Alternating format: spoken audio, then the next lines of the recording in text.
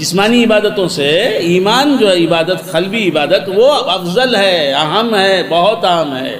اور وہی بنیاد ہے جسمانی عبادتوں کی۔ لیکن قرآن دیکھیے وہ بشیر الدین آمن عامل الصالحات خوشخبری سنا دیجیے اے محبوب ایمان وال ان لوگوں کو جو ایمان لائے اور عمل صالح کیا۔ ایمان کے ساتھ عمل صالح کا ذکر ہے نہیں ہے۔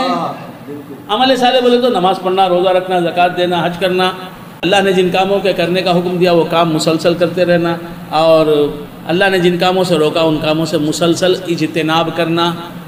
ان الذين امنوا وعملوا الصالحات طوبى لهم وحسن مآب۔ ان کی دیا گیا قرآن میں ہے نہیں۔ ان الذين امنوا وعملوا الصالحات۔ جو لوگ، بے شک جو لوگ ایمان لائے اور عمل صالح کیا۔ ایمان کے ساتھ عمل صالح۔ والعصر ان الانسان لفی خسر الا الذين امنوا وعملوا الصالحات۔ قسم ہے زمانے کی۔ ساری انسانیت، سارے انسان نقصان میں ہیں، خسارے میں ہیں لاس میں چل رہی ہے ان کی زندگی۔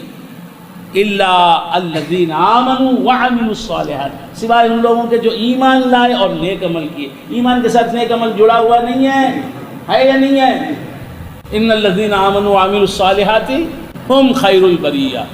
ان بے شک الذین، وہ لوگ جو آمنوا وعملوا الصالحات۔ ایمان لائے اور نیک عمل کیے۔ ایمان کے ساتھ ایمان کا ذکر کیا تو نیک عمل کے ساتھ کیا۔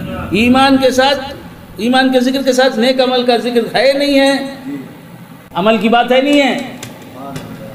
تو یہ آیتیں کیا بتا رہی ہیں؟ خالی ایمان پر بولتے نہیں رہنا، عمل کی بات بھی کرنا۔ ایمان تو حاصل ہو گیا۔